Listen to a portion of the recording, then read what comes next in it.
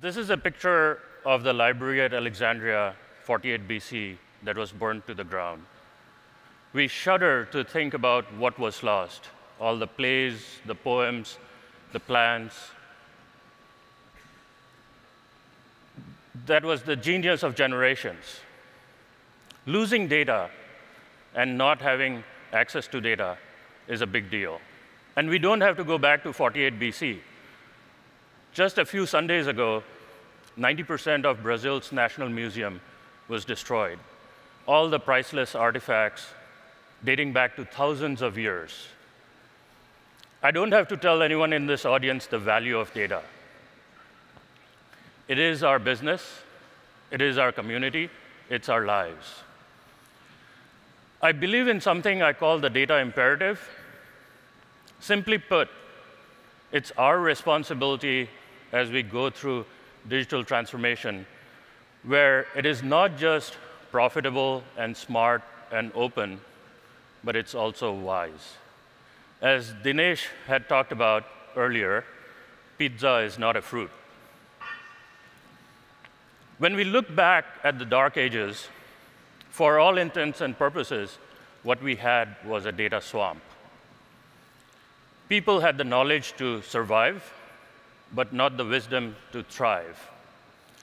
And then came along the printing press, where, in first time in the history, it helped us capture, store, and share data at scale, leading to massive multidisciplinary thinking.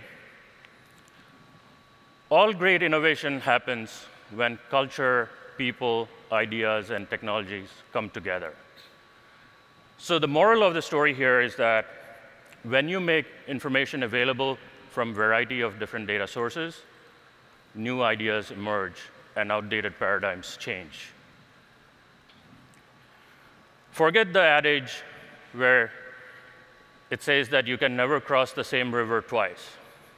In today's world, you cannot generate the same report twice. Businesses used to be Newtonian, which is fixed, measurable, predictable. We are moving more and more to be quantum, which is fluid, probabilistic, and unpredictable. The days of machines in basements generating monthly reports are long gone. You know all the V's in this space. Add one more volatility. When policies are these days made over a tweet, how can you survive? What is your competitive moat so that you're able to be as disruptive as the disruptors? The average lifespan of companies in S&P 500 used to be 60 to 70 years. This year, the lifespan will be around 22 years. Who knows what it'll be next year? This equates to a massive epidemic for today's companies. So, how do you strengthen your corporate immune system to be able to survive against these issues? So, let's think about a couple of different items. So, one is being able to automate the knowns, automate the repeatable processes, and then also augment the unknowns, being able to augment humans' ability to be able to do their jobs better by correcting the biases that they have, by also allowing them to explore the unknowns, the what ifs.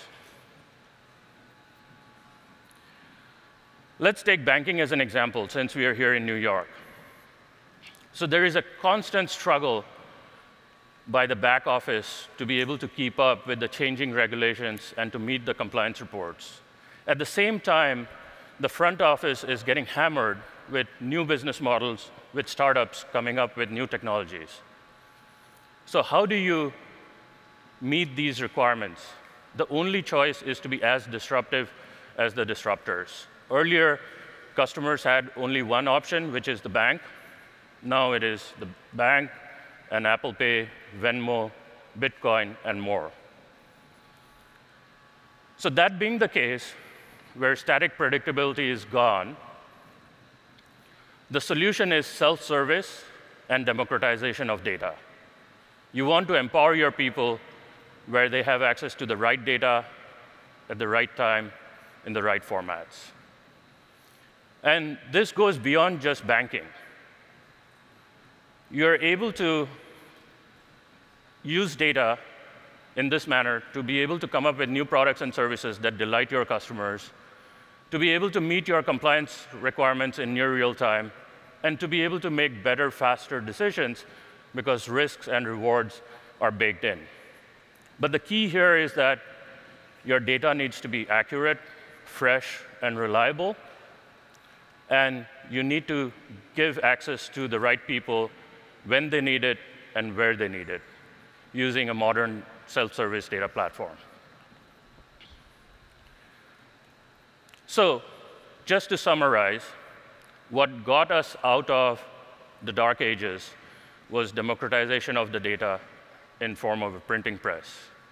What will get businesses out of today's dark ages is also democratization of data in terms of a self-service data platform.